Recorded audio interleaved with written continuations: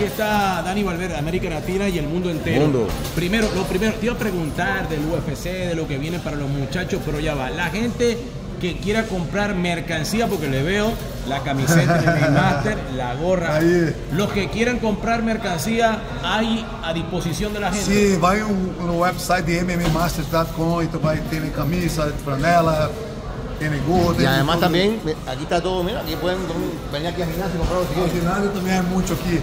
Dani, sé que por ahí seguiste la victoria del Tonga, ¿no? Tonga, impressionante, né? Não- Tonga é comentarista de, de ESPN, é peleador de MMA e felicidades a meu amigo Tonga, que é um guerreiro.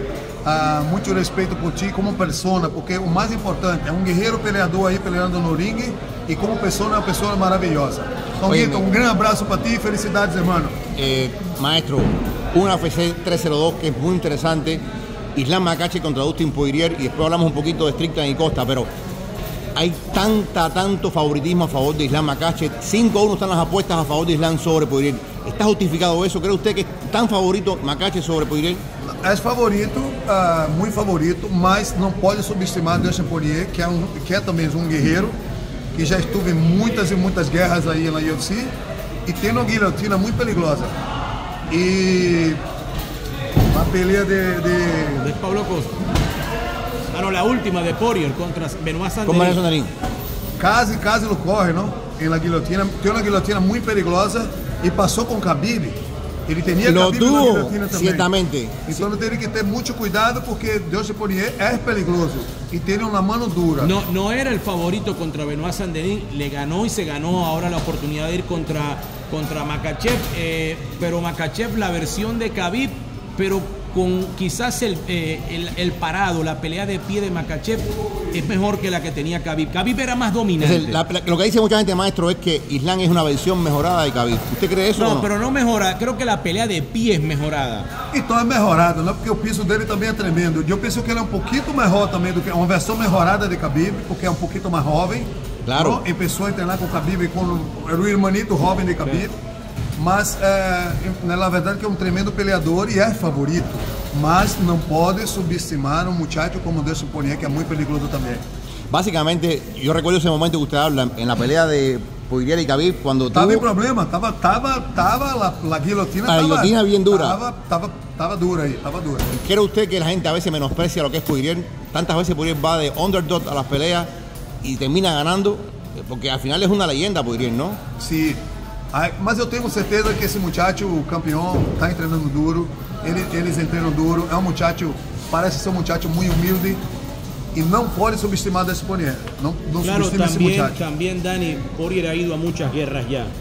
O sea, ya quizá su, Su cuerpo, cuerpo. físicamente ya no está al tope como él no está en su prime. Não. Poirier. Mas tem muita experiência e tem suas técnicas, suas, tec, suas técnicas perigosas aí que tu tem que estar, tem que estar pendente com isso aí. Ahora, Dani, tú que sabes mucho de esto, la gente lo que dice que el chance de Poirier está en que a Islam le gusta un poquito más intercambiar golpes. A diferencia de Khabib, que sonaba la pelea y te iba a a buscar Y te llevaba al piso. y te llevaba al piso, pues a Islam le encanta un poquito más el boxeo. De hecho, él le gana a Oliveira con un knockdown y después lo somete con el triángulo, pero le da el knockdown primero. Y que ahí estaría el chance de Poirier, que mientras dure la pelea parada, ese gancho de zurda de Poirier, Sim, claro. A chance de, de, de, de Poirier é no boxeo, na parte aí de, de kickboxing e boxeo. Esse muchacho é um muchacho muito versátil. É um muchacho que pode cambiar. Ele está aqui e pode a qualquer momento tirar no piso. Ele é muito completo. Ele pode fazer o que quer. Mas, como tu tá falando, a chance de Poirier é manter a luta arriba. no importa. No importa. La, la pelea. Vamos a la costelar. Chan Strickland, Paulo Costa. Paulo Costa llegó a la UFC, parecía un vendaval, un monstruo, pero se ha ido parando un poquito. Strickland, nadie esperaba nada, se hizo campeón del mundo. ¿Cómo usted ve esta pelea de Strickland y Paulo Costa?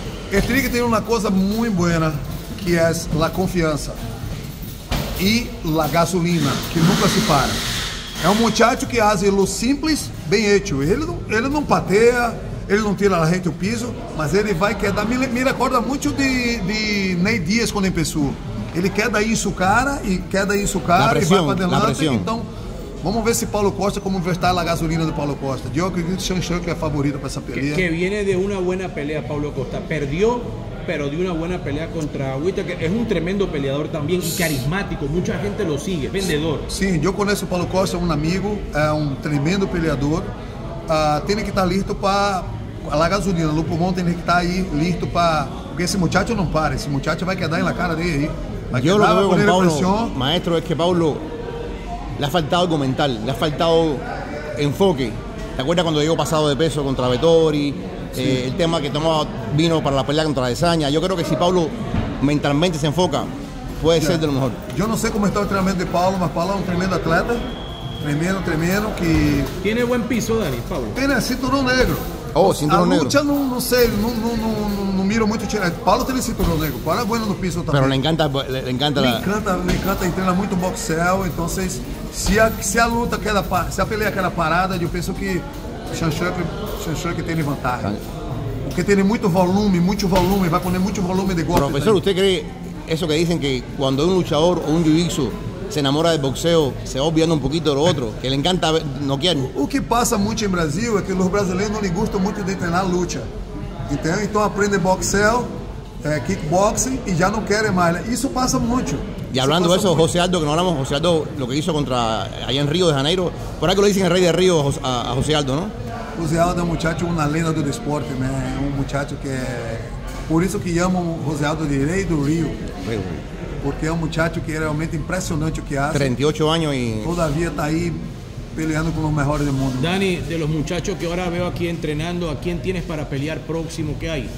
Aqui temos agora que está aí na parede Miguel Paesa, que peleia agora em la UFC em Kentucky, dia 7 de junho.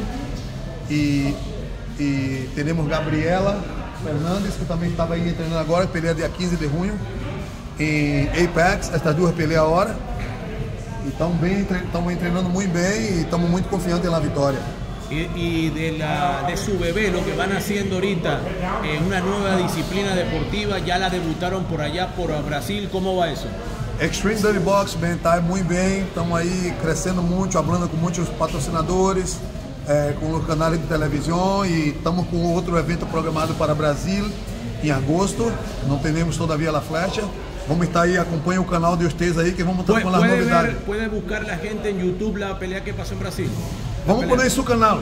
Ah, ok. Vamos poner isso no canal hoje. Busca aí, vamos poner hoje aí. E tem também canal de YouTube Extreme Dirty Boxing, na página de, de Instagram também. oye, y ojalá pronto que Stranger Revolting venga a los Estados Unidos también.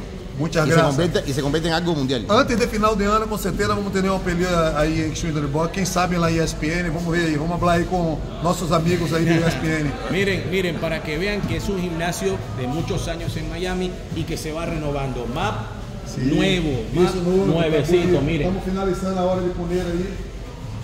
Gabriela, vem aqui rapidinho. Vamos chamar a Gabriela Fernandes que vai pelear a hora de. ¿Cu- ¿Cuántos años ya acá en, en Miami, Dani? Eu tenho 20 anos já em Miami, mudei para aqui em 2004. ¿Y el gimnasio cuánto tiempo? O ginásio MMA Masters empezamos em 2009. Teníamos um ginásio em Downtown Miami. 15 años, claro, yo iba a downtown. 15 anos, sim, tu Sim, treinava eu- aí. eu É, ia- é perigoso também, jiu-jitsu esse muchacho, hein, André? Eu ia- ia- Mira, essa é a Gabriela, Gabriela Fernandes.